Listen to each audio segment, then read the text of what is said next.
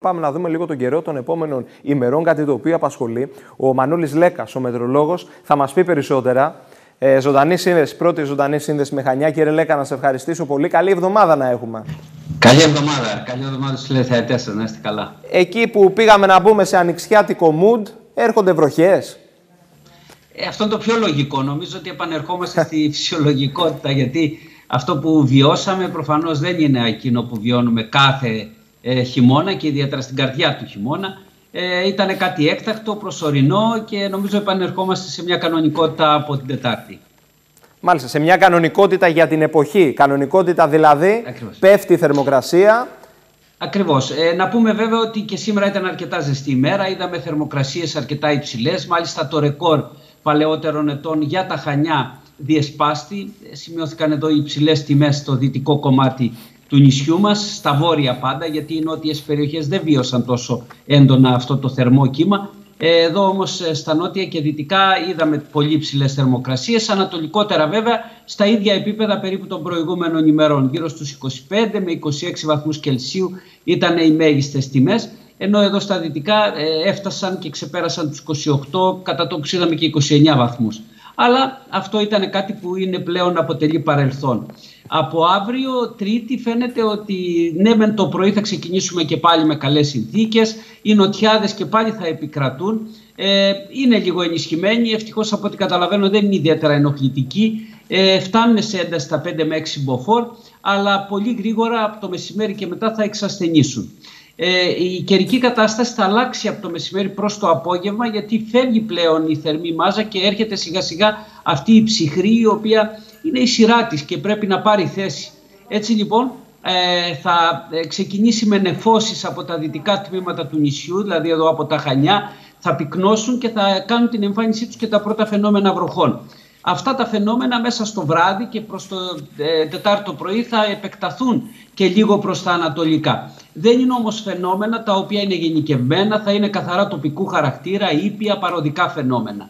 Ε, την Τετάρτη μάλιστα ε, θα δούμε και τους ανέμους να ενισχύονται ε, από δυτικές κυρίως διευθύνσεις, αρκετά ενισχυμένοι όμως φαίνεται ότι θα φτάσουν τα 5 με 6, τοπικά δεν αποκλείεται να δούμε και τα 7 μποφόρ. Ενώ την ίδια ώρα η θερμοκρασία θα υποχωρήσει σε αρκετά χαμηλότερα επίπεδα, με τις μέγιστες τιμές πλέον να κυμαίνονται κοντά στους 16 με 18 βαθμούς Κελσίου ως ένα δείγμα βέβαια ότι επιστρέφουμε σε αυτή την κανονικότητα που έλεγα. Θα διαρκέσει καλό, πόσο, να μας πείτε λίγο, βέβαια, πώς θα διαρκέσει αυτό το χειμωνιάτικο σκηνικό; Ε, αφού ξεκινάει θα, θα κρατήσει από ό,τι δείχνει.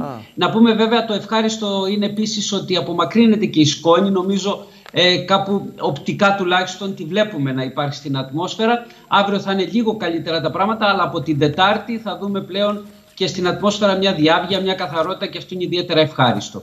Ε, να πούμε λοιπόν ότι ο καιρός, παρά το γεγονός ότι κατεβάζει την ψυχρή αέρια μάζα, ε, δυστυχώς μας αλλάζει διαρκώς ε, την, ε, την έκφραση των μοντέλων. Δηλαδή δεν μπορούν τα μοντέλα να σταθεροποιήσουν και να μας δώσουν μια εικόνα η οποία ε, μπορεί να είναι η καλύτερη δυνατή προγνωστικά.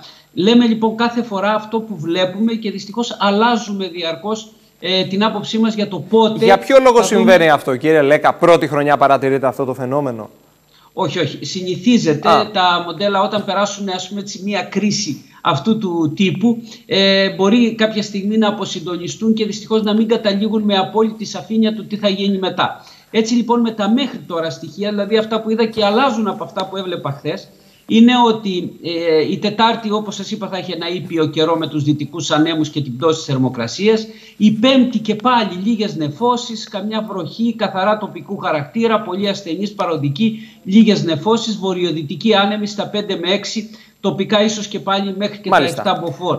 Ε, εκείνο που φαίνεται τώρα να διαφοροποιεί τον καιρό είναι η Παρασκευή που φέρνει βροχές, αλλά είναι σύντομες χωρίς να βλέπουμε τόσο ψυχρή μάζα και η ψυχρή μάζα επηρεάζει περισσότερο την Κυριακή όπου εκεί τουλάχιστον τοποθετεί τώρα κάποια χιόνια για τις ορεινές περιοχές του νησιού. Αυτό που καταλαβαίνουμε κύριε Λέκα, αύριο πάνω κάτω θα διατηρηθεί αυτό το ανοιξιάτικο σκηνικό, καλές ναι, ναι θερμοκρασίες ναι, σε σχέση με την εποχή. Χαμηλότερες λίγο. Από Τετάρτη και μετά ωστόσο μπαίνουμε σε μια τροχιά χειμώνα.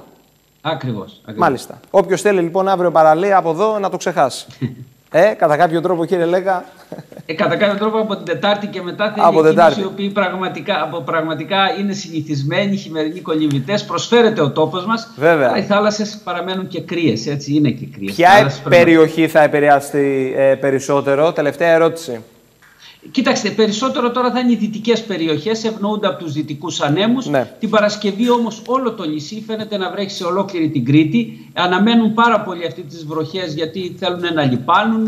Ιδιαίτερα οι κτηνοτρόφοι για τα χιόνια ανησυχούν πάρα πολύ. Τα χιόνια όμως σηματοδοτούν μάλλον την εμφάνισή τους αν δεν αστοχήσουν τα μοντέλα προς την Κυριακή. Ανησυχούμε και για την Παρασκευή, αλλά προς τα εκεί βλέπουμε Κύριε να, Λέκα. να τίνουν τα τορνά. Ευχαριστώ πολύ. Καλή εβδομάδα και πάλι. Να είστε καλά. Καλή εβδομάδα, να είστε καλά.